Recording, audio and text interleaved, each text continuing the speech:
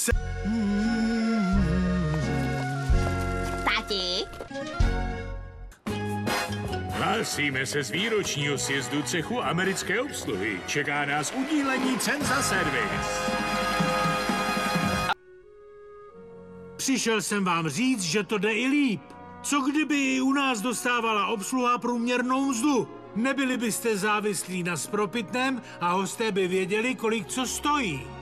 Zbavte se dýšek a užívejte života. Kdo souhlasí?